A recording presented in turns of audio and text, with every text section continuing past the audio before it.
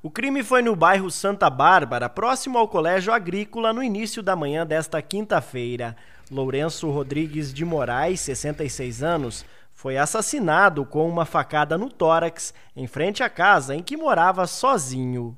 A polícia militar foi acionada por populares e identificou o suspeito pelo crime, que é sobrinho de Lourenço e morava ao lado.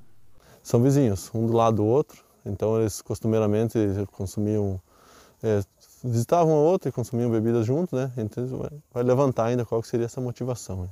Segundo informações de vizinhos que presenciaram os fatos, mas não quiseram gravar entrevistas, o suspeito e a vítima estariam ingerindo bebidas alcoólicas desde a tarde da quarta-feira.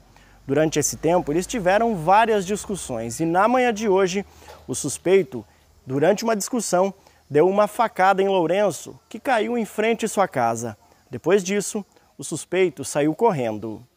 O homem, que não teve o nome divulgado, foi preso logo após o crime. Foi localizado o autor nos fundos da residência, escondido. Então já foi feita efetuada a prisão desse indivíduo.